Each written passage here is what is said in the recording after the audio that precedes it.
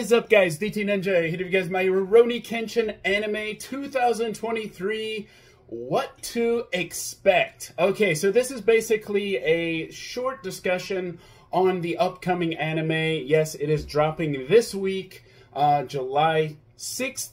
Uh, so I'm really excited for it. Obviously, the new Kenshin anime, if you haven't already heard, is coming this week. Yes, so I'm going to get to the details on where you can watch it and what to expect here in a moment, but I wanted to share this is uh, one of the scans from SQ Magazine, and basically, this is the new look for Kenshin. You can see he has the red kimono like the original manga.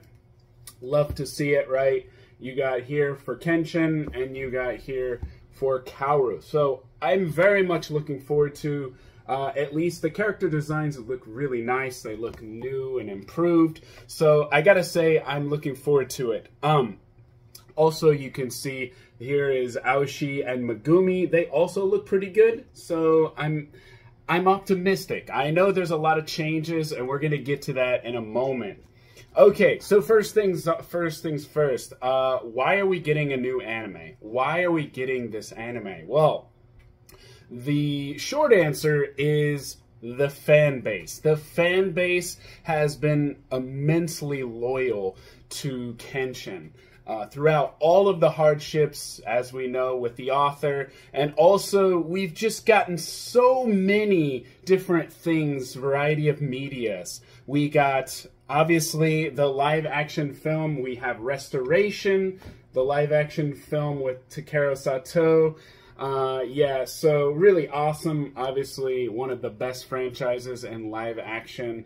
Uh, then we had the Hokkaido arc, right? We can't forget about Hokkaido because this is where it was announced. During the Hokkaido arc panel and Jump Festa 2020, it was announced that the Hokkaido arc will be getting an anime. Now, they're starting, it actually didn't say the Hokkaido arc, but it said an anime project. So here's my thinking this is the intention. They want to animate Hokkaido because it's very popular, it's doing very well but we want to remember, we want to go back to the original and reboot. And hopefully we can get back to the final arc, which is Hokkaido. That's my thinking. So that means we want to see those scenes. We want to see this final scene from the manga. We want to see Kenshin and Kaoru as father and mother. We want to see the battle with Shishio and Kenshin. We want to see Enishi versus Kenshin. We want to see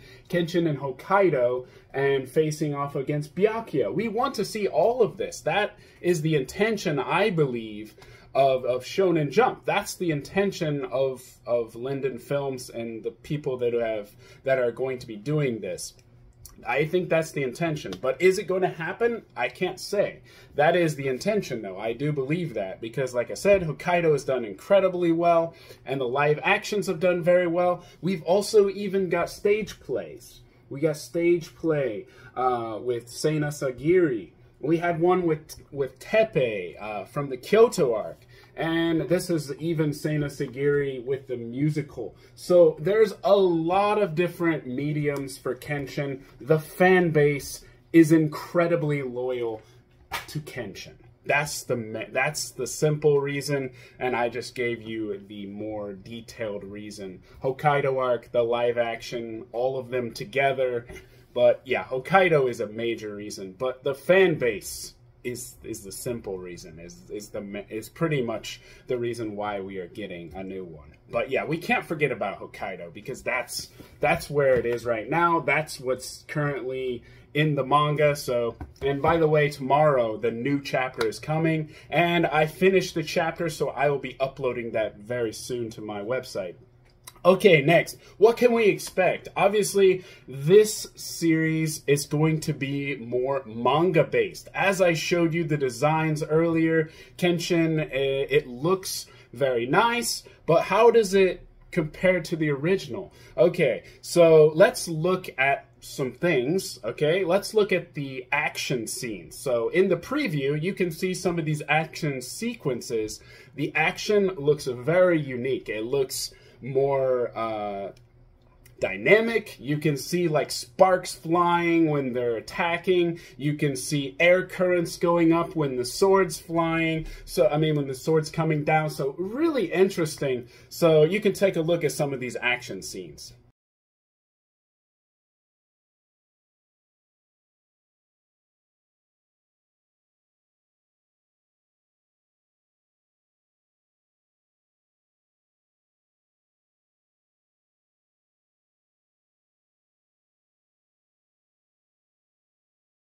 Okay, guys. So yeah, there's a lot of interesting action sequences, uh, and we're gonna get to uh, another thing, which is the special interview with Yamamoto, and he explains about uh, what he was doing and what he was thinking about while creating Kenshin, and he's working together with the author, so that's a very good sign. Um, so we have new voice actors. Okay, we got to get out of the habit of just relying only on the old actors. Okay, those guys are probably getting up there. We got to give the new generation some credit here. Uh, just be optimistic about the voices. Um, one thing I will say, there is a special resource that you should definitely check out. It is called Voice Message of the Day. If you go to RurouniKenshinAnime.com, I will leave it in the description.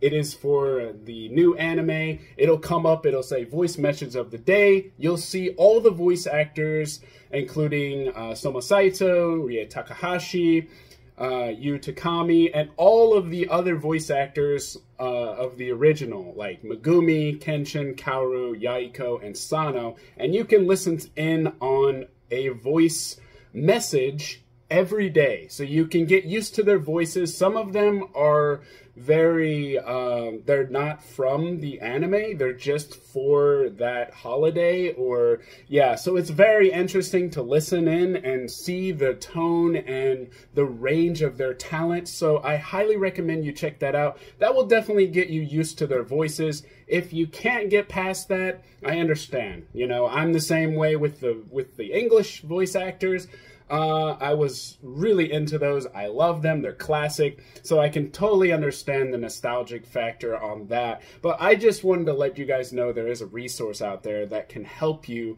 Uh, and it's really cool. It's all free and you can just listen. And of course, it's all in Japanese. But at the same time, you get an idea of what's to come. So pretty cool like I said, uh, sharper, unique action. Uh, there's new openings and endings. I'm pretty excited about it. Uh, ten. so He 10 is the opening. We heard that in the last, in the latest trailer. Really, and really nice sound. Um, I gotta say, it's not the same as the original. Like you know, you got L'Arc-en-Ciel or Judy and Mary with Sabakasu, uh, Sobakasu, but like, of course that's nostalgia playing a factor. You gotta get you got to get out of that. I know, I know, I know. I'm I'm a huge classic fan as well, but you got to be optimistic. You got to give it a try. That's just my feeling on it. The music is going to be different. The OST is going to be different. I mean, the OST is one of the best parts about Kenshin,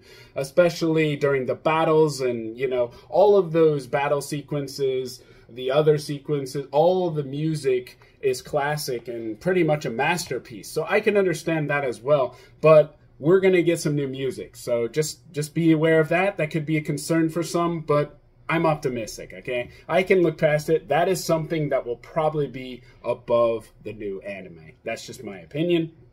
But yeah, okay. Like I said, nostalgia, but I'm optimistic and looking forward to it as well. Okay, like I said, uh, the fourth, uh, uh the the sixth is the new release. Uh, but we also have a world screening. World screening uh, is an event that's going around the world, obviously starting in Japan June 18th, and then it went to Philippines in the 25th, and then it came here in Korea last weekend, and it is going to the US tomorrow. So if you're going to LA tomorrow, you will get a first-hand look at seeing the voice actors Rie Takahashi, Soma Saito, Kenshin, and Kaoru, and also you will get four episodes preview of the anime. Really cool. Sadly, I did not get a chance to see uh, the preview uh, here in Korea. Uh, they were sold out, so definitely act fast. Uh, I will give you a, a, little look at the schedule. There's there's a little time left for, for US and, and France, but the rest of you,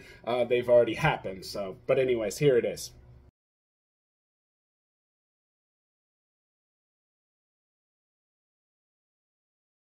All right, guys. So yeah, that's the schedule. Um, one thing I want to point out is during that, uh, I, I've heard a lot of things. I've heard good things, and I've heard that the the pacing of it is very is very much like the original, so that's a good sign. Although the nostalgia is going to play a factor, so just keep that in mind. Um, now, one thing during those screenings, you get you get some nice goodies like postcards of of the new anime.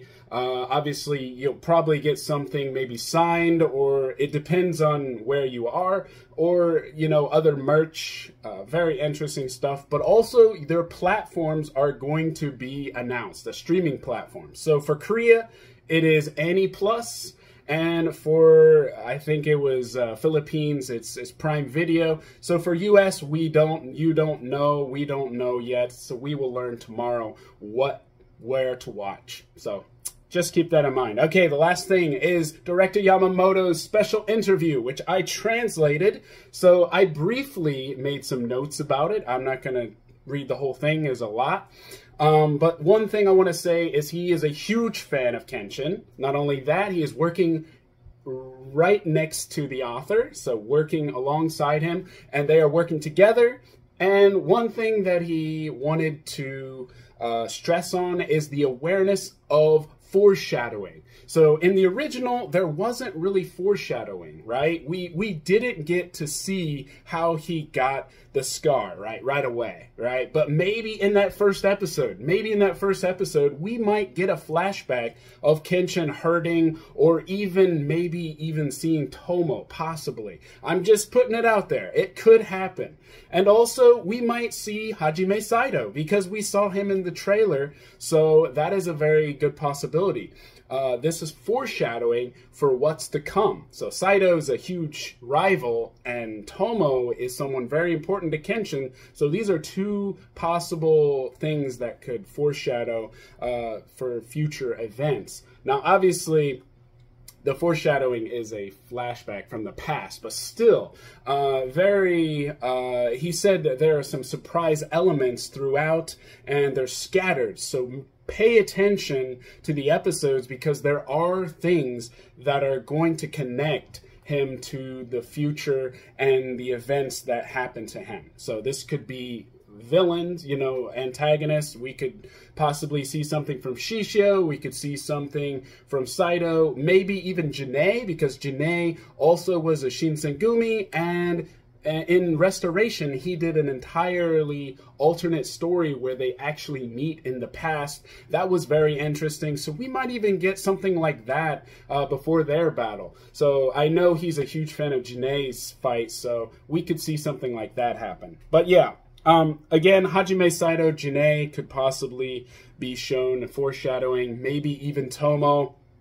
Um, one thing he mentioned was the liveliness in the city. So you'll see, uh, you know, more lively uh, people throughout the city. You'll see, and they're definitely from that era. They made a, a point to make it very similar to the era. Um, also, uh, the uniqueness of action, like I showed, like I told you, and I showed you some of those action sequences. They are focusing on that. Um, I did notice some things like they're focusing on the manga. Like you see Kaoru uh, and Kenshin. Kenshin is holding uh, Kaoru's head, like in the first chapter of the manga. They they did that in the anime. They're also kind of doing a little bit different with the eyes. I'm not a huge fan of that. I like the psychological change, but at the same time, I do like the way the eye looks because it's got that manga look, like something fierce is about to happen. You know, you got the the action